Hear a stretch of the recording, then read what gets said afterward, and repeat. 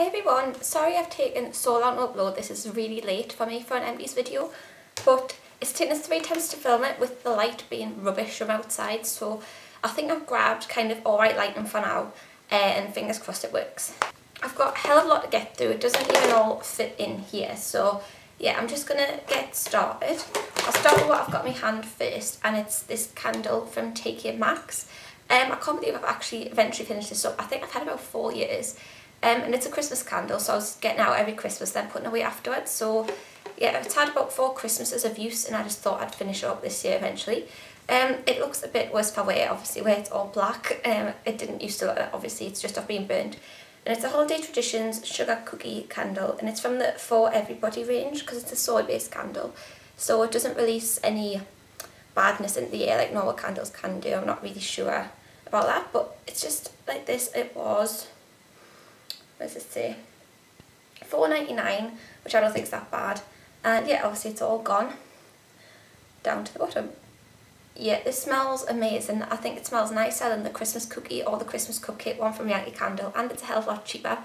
And it burned so well, like as you can see, it's all like evenly burnt down um, and it lasted a very very long time without running out so yeah I would definitely recommend having a look for like Christmas candles like this at, at TK Maxx because they're so much cheaper and it smelled so strong as well. Like it wasn't like a faint smell. It was really strong. And felt like the whole upstairs of the house when I used it. So yeah I would definitely recommend them.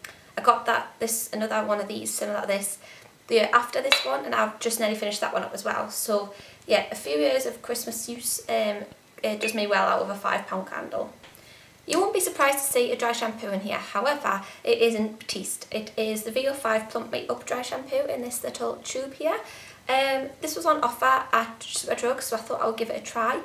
It's completely different to Batiste. It does leave your hair feeling quite clean, but you can't feel anything there. Like, it just feels like a clear spray and it doesn't feel like there's anything there. Like Batiste, you can see clearly that there's that white kind of cast and it's definitely got the powdery feeling. This doesn't have that, it just kind of doesn't feel like there's anything there. But it doesn't work as well as Batiste. Like Batiste I can use when my hair is pretty oily and it will do a really good job of it. This, I think you can only do it so much and it's not going to work if your hair is really, really oily. It's just kind of a little touch up, say if you're like secondary hair that's only a little bit need of something but yeah I wouldn't say it was amazing I probably won't buy it again it did leave your hair feel nice and fresh but it wasn't as heavy duty as Batiste at all and because I said last month that this would be in here, this is in here. It's the Dove Hair Therapy Intensive Repair Shampoo. The conditioner was in last month and this is this month. And I've actually already repurchased the pair and I'm using them again. So yeah, obviously I would repurchase this and really, really like it. It makes your hair so soft, the shampoo as well as the conditioner. Sometimes I think shampoos, you can rinse out your hair and the feel, it feels clean. And in a way, it kind of makes my hair feel very stripped and I feel like I need to overload the conditioner. This doesn't leave that, my hair feels soft straight after using this and then the conditioner just puts loads of moisture in after that as well. I just really love this range and anyone who wants like softer hair or feels like the hair is a bit dry, I'll completely recommend the Dove range, uh, the Intensive Repair range. I haven't tried the oil care ones. I think they will be a little bit too heavy for my hair, but even my hair is quite fine and it still works really nice. So yeah, I really, really love them. I'll get this messy one out the way with first because it looks absolutely ridiculous and it's getting in the way and it's was once was Xen-Tan Dark Lotion Absolute Luxe which there's the top um, and there's the middle and the bottom and I had to cut it all up to get in as you can see. I didn't want to waste any of this fake tan because it was super super duper expensive um, and I could tell there was a lot of things so it was a big squeezy tube Ooh, about this big so I cut it all up and had to cut it all down so I could get in all little bits. As you can see I've well and truly scraped it clean and from doing that I did get a full body's worth of use out of it which is worth it for me to cut it all up into a million little pieces. Um, this stuff is my favourite fake tan, but I'm reluctant to buy it again because it's so expensive and I find using gradual tanners a little bit simpler and less risky. But for if you want to use a full fake tan, this one was amazing. It smelled like kind of like cocoa butter. Yeah, it smelled really nice. Uh, it didn't really smell that fake tanny at all when you used it, like compared to any other fake tan I've used. They always have really strong smell. This didn't really have that. You'd have to really kind of smell your skin a lot to try and find the smell. It wasn't very strong at all. Um, it was really nice, thick texture, like really thick moisturising cream. It felt moisturising on the skin, I thought. And yeah, it fades really, really nice. Like no patchiness at all. No like patchy marks around your arms or your armpits or anything like that. It just fades really nice and the colour it gives is so nice. It's not orangey at all. It just looks like a real tan. So yeah, and it's not too dark. Like It says it's dark, but for me, one I'd need like two uses to be as dark as I'd want it to be. Uh, for like a night out something but yeah I would recommend that to anyone and I will probably treat it myself to it sometime soon. This month has been a month of using up favourite products that are too expensive to repurchase and the next one of them is the Ren Glycolactic Radiance Renewal Mask. This is completely gone. I absolutely love this. Um, it's like kind of a pared down version of the Glam Glow mask in that it has all the AHA glycolactic kind of acids that eat away your skin. Uh, but it's a completely different mask altogether, but it do, gives a similar result. Uh, and it's less stingy. Uh, this comes out like marmalade, like really like orange sticky cream, smells sweet like marmalade, and it feels so strange to be smeared on your skin because it feels like some kind of jam sticky thing rubbing it over your face. Uh, it smells amazing, like I said, and it just it leaves this kind of orangey clear film on your face that you then wash off after like 10 minutes or so. And it just leaves your skin feeling so squeaky clean, but not in like a tight way, just really soft and just like there's nothing, no impurities there that shouldn't be there. Um, yeah, and it just gets rid of all the little flaky bumpy bits that might not have come off naturally. And yeah, I like this doing this kind of thing better than using a face scrub. I just find it a bit more gentle and less abrasive. Uh, so yeah, I would buy that again. Um, it's kind of like the face mask equivalent of using Alpha H Liquid Gold, I find, and that this has kind of tied me through the time I've had recently where I haven't had that in my possession. I've been using this once a week, and that's how this has kind of got used up really quick. So I'm going to need to buy one or the other, or both. Um, but yeah, anything with these acids type things in is like my favourite thing for skincare. I have a mascara on that this has got any rhyme or reason to what's coming out of this basket. Um, this is the Avon Super Shock Mascara. This I only started using at the beginning of December and I finished it at the end of January. Um, so yeah, these mascaras don't last very long and I've known that because I've had about 10 of them now. It was like the 10th tube I've had. And they do only last about two months but I really like the effect they've got. And I think the reason they only last two months is because once you open it, the first time you open it, it is perfect for you straight away. A lot of mascaras I find are a bit wet and look a bit better once you've used them for two or three weeks and once they've dried out a bit and then they look a bit better whereas this does that but straight away so I feel like it's already a bit dry like a drier formula so that's how it dries out quicker but to me that's worth it because then you get to use perfect mascara straight away without having the few weeks of like stuck together spider lashes with wet mascara all over your eyelids and things so yeah that's worth it to me but this mascara is really, really nice I'll show you the wand it's just this bristly plasticky wand. Um, yeah, absolutely love it. I love a good thick wand. When I see them like this, I know I'm probably to like it. The packaging is actually the limited edition Christmas packaging. Um, it's normally in a black tube or some of that summer Christmas pack uh, limited edition packaging. But yeah, so it doesn't always look like this in the magazine if that's where you're looking for it. I just find it's a really nice formula, really volumizing, thickening, never ever lets us down, doesn't smudge under the eyes, and yeah, I just find it's like my easiest go-to mascara, and it doesn't need much effort. I find some mascaras you've got to like put a lot of effort in, wiggling it around two or three coats to make it look really nice. If, if you were in a hurry, you could use this in one coat really, really quickly and it gives you really nice, thick, long lashes. So yeah, I go back to this time and time again and I always go back to it and buy a new one. And I know for a fact I'll end up buying it at some point in the future. I may as well get the other makeup products out the way while I'm on a roll with that. And I've got a lipstick here, which is again an Avon product, which, God, this must be the first lipstick I've used up in about four years or something because it's very, rare occasion that I finish a lipstick. Um, and the last one I finished actually, I think was from the same range, but the coral colour, which is very interesting. Um, but this one is the Avon Pro to Go. I'm not sure they make these anymore in Provocative Plum. Um, it's got like this weird way of opening. It's got this slide up tab here that slides the lipstick up like that and obviously normally it will come up the top but obviously there's nothing there. It was this plummy colour if you can see, I'm obviously not going to be able to show you properly but yeah it was a lovely plummy colour, it was very sheer, very light on the lips and that's why I think I used it a lot because it was a plum but great for daytime because it was nice and sheer, you could wear it with anything through the winter and I just used to wear it constantly. I've had it about three years but that's quite quick for me to use up a lipstick um, yeah, I really, really like this and I'll buy some of this again. I'm thinking MAC Plumful might be a similar kind of colour and uh, formula. So yeah, I'm thinking I'll try that and see if that's any good because I don't think they make this anymore. But yeah, I really, really like that and would have repurchased if I thought they made it. I have a BB cream, which is the Maybelline Dream Fresh BB cream. People know I talk about this all the time. It's like my favourite daytime base. This is the second tube of this I've used up and I've already bought it again and I'm using it again. So is my favourite BB cream. I don't really use it just because it's BB cream. I just use it like because of its coverage, like a tinted moisturiser type thing. Um, I always put moisturiser underneath. I don't use it just on its own. And it's got SPF 30 in as well, so it's really good for the daytime. Even though I also use SPF as well. But like this is just the best coverage ever for daytime. I find it really, really light. It doesn't feel like you wear a thick, heavy foundation or look like it at all. But it's kind of like blurs any imperfections and just gives a really dewy, nice look to your face. And yeah, I really, really love this stuff and I can't get enough of it. And the last makeup product is Rimmel Stay Matte Powder, which is well and truly dead, hasn't got even got any writing on it anymore. This was in the colour transparent, there's no point showing you because there's nothing there. Um, yeah, a, this is the third one of these I've had The second one I actually lost um, when I was halfway through it but yeah it's just yeah I've used up three of these now um, I didn't really buy, purchase this just because I wanted to try something else. I really really really like this but I thought I'd buy the Maybelline Fit Me powder just because it was on offer. Um, but yeah I will say that it is better for mattifying and I'll probably go back to this. It's just because the packaging isn't amazing that I thought I would go and try something else that looked a bit prettier but yeah this actually is up there on functionality for a mattifying powder and definitely does the job really well without looking too cakey and it just keeps shine shining bare for a good few hours and probably need to blot it with it once through the day if you're being picky so yeah I would recommend that to anyone.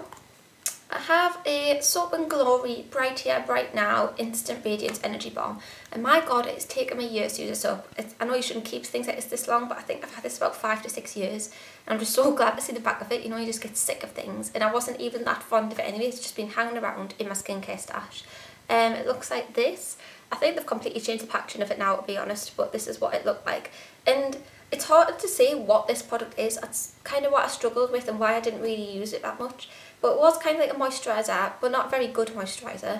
Um, and it was meant to like brighten your skin. So I was using it kind of like a primer, but not like after moisturiser to give like a brightening effect to your skin. And it did brighten the skin. It did make it look nice and bright and healthy. But I didn't really like the smell. It was kind of fruity, but a bit weird. Um, yeah, and the texture of it just wasn't great in any way, shape or form. And I wouldn't buy it again. It was just kind of a gimmicky product that I wasn't really sure what I was meant to be doing with it. And I felt like I had too much moisture on my skin when I put on over moisturiser and on its own it wasn't really enough. Um, so yeah, I didn't really get on with this too much, but it's eventually gone because I don't give up on a product, but I won't buy it again. I've got two more Soap & products, so I may as well tell you about them. Um, the Soap & Glory Girly Go, I'm not sure if that's how you say it, but again, this is something I've had for years. The Spray On Body Moisturiser Mist. I've got another one of these stash um, and I will be using that up because I really like it and I would buy it again, just to say that. Um, this is really, really nice. It's just a tiny little body moisturiser. It's actually lasted me for years, this, because I didn't use it too often, but it's really good for what it does. It's basically a moisturiser, kind of like what the new Vaseline ones are saying they are, but not aerosol. It was just kind of like a liquid formula in there. And you'd spray it out on your skin. It would come out like a white milky spray. And then you would rub it in really, really quickly. So it was like the quickest way of moisturising. And I found it was really good for like, say you've just got out of the shower and you have your clothes on straight away. You could spray this on rub it in, it would sink in almost immediately, so you didn't need to worry, like if you're using a body butter and then put on jeans, that's pretty much an impossible task if any girls try to do that, which I'm sure we all have. Um, this didn't give that kind of stick in the jeans to your legs effect, it just kind of gave a nice little light moisturising feel without making you feel all sticky. And yeah it was really really quick to use as well which is really good in the winter I find.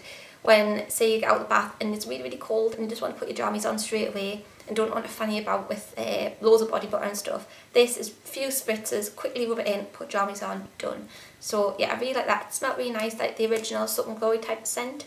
And yeah, it's a really nice product. I found it really nice on holiday. I use kind of like after sun as well, which is what I used it for as well. I just always take it on holiday and use it like before I put clothes on to go out for a meal, even if I was using after sun no sorts, I was just using this as well and then body butter before I went to bed. So yeah, it's just a nice little extra bit of moisture to add into your routine. And the last Soap & product is the Righteous Butter. I was on a mission to use this up because at one point I had three of them stacked up and I don't love it that much, like it's a nice body butter but I've got kind of sick of it because I've used it, like I've had a constant rotation of it in my collection for about six years so I was kind of getting sick of it and I had three of them piled up. I used one up a few months ago and then I was like, right, I'm going to just whack this one out and use it up. And then I've got my last one still to use up. and I probably won't buy it for a long while after that because I'm just sick to death of the smell. Um, it's a really nice body butter though, it does smell nice, it's not a bad smell, I've just used it constantly and I'm just tired of it. Um, obviously it's gone. Um, it is a pretty smell, but uh, yeah, sick of it. And it does moisturise really nice, it's a really nice body butter, not too greasy. Um, yeah, just a lovely, what can you say, it's just a really nice moisturising body butter and does have a pretty smell, but I am sick to death of it, so I probably won't buy it again. I have two of these Primark face wipes. I don't think I completely used both packets up in January. Maybe I have like one left at the beginning of January, then used the other packet up in January, um, which would make more sense. But yeah, these are just my face wipes of choice. I know face wipes are a taboo subject on the beauty community on YouTube, but everyone uses them. People that say they don't, very good on you, but I think most people are lying when they say they don't ever use them. And mostly I do cleanse after it anyway. They're just to take the bulk of any heavy eye makeup off that I can't bother to rub around my face and make a big black mess. So yeah, I think these are the best ones I've got found for the price. For two packets like this uh, is a pound and that's 50 wipes for a pound, which for what I use them for, I can't really complain about and don't really feel the need to spend £3 on a pack of 20 when I buy 50 for a pound. So yeah, uh, all about the bargains with the wipes. I have this random little Al Algenist pore correcting gel moisturiser. This was a sample but actually lasted a really long time. It was a Space NK sample so I'm assuming this is an expensive brand because it has alguronic acid in it which I don't know what that does but yeah let's just think it does something good. Um, all gone this lasted me about three weeks worth of use, this little pot, which was really good, I thought. It was a really, really light moisturiser. Um, like it says, it was a gel, so it was like really thin and light. But it was really nice, actually, as a morning moisturiser because it didn't feel like it was too thick or heavy before putting makeup on. Um, I don't know what it was meant to do, really, which is really bad because I should probably have found that out before I told you whether I did it or not. Um, but as far as pore correcting, didn't notice any of that. Um, it's probably one of those anti-aging things where you need to use it for a long time. But yeah, nothing special to report and I probably wouldn't buy it again. In fact, I know I wouldn't buy it again. Two more things and then we're done. I have uh, this one, Gets Lux Glam Again Replenishing Treatment for your hair. This is a Superdrug kind of exclusive brand, I think. Um, and we got this to try as kind of a staff sample. Um, this is a hair mask. This is normally about £4 I think, but yeah, it gets reduced to like 150 sometimes, so I suppose that's alright value. Obviously it's all gone. Um, I got quite a few uses out of this, but it was a very strange hair mask. It wasn't like at all liquidy, it was like really hard. And then it went kind of bitty when you got it in your hands, like in little chunks. Like it was hard to kind of smush in your hair, like you had to properly smush it in, like mash it into your hair. Because it wasn't just like slick and didn't just slick in, it was very strange. Um, it was nice and moisturising, but again, nothing that wowed us. There's been other hit masks that I've liked better. Um, that Dove conditioner on its own is actually better than this. So yeah, I wouldn't buy that again and I didn't think it was anything special really. It smells quite nice but had a very strange texture and if you had a lot of hair then I don't think this would last very long. And the last product is a Philosophy Christmas Cookie Shower Gel and it's one of those ones that's the shower gel, bubble bath and shampoo but I only use it for shower gel. I kept the box because I thought the box was quite cute. Um, this is what it looks like. And it's got looks a bit gross now but yeah this was full to the top with like a creamy yellowy shower gel. It smells so good. Like I miss it already but it's a very synthetic cookie type smell. More synthetic than that candle that I showed you at the beginning. Um, I probably wouldn't buy Philosophy Shower Gel again. I think it was just for the novelty of a big Christmas cookie. And I actually bought this in the January sales last year um, for £7 instead of £14, which I would never pay £14 for. Um, and then I kept it until like this Christmas just gone so I could use it then, which I thought was quite good of us, quite clever. Um, so yeah, I kept the box and this is what it looked like. But I wouldn't buy it again because it's just a shower gel, didn't do anything special, it wasn't anywhere near as moisturising as the Soap and Glory Cleaner made that lazy skin feeling soft. This just was like a normal shower gel, left my skin feeling quite dry and so I felt like I really needed to moisturise afterwards and it just didn't leave a nice feeling. But yeah it didn't really do anything special or magical for me at all. It was just a shower gel that smelled quite nice. But still I could replicate that smell somewhere else. It's just quite synthetic but quite cute and I like the little packaging of it while it was still pretty. Um, but yeah I wouldn't buy it again and I wouldn't buy Philosophy shower gels again. So yeah, that is it. Everything empty. I feel like I had quite a lot this month again. And I'm sorry this has gone up really late, but what can we do with the weather making the lighting really crap.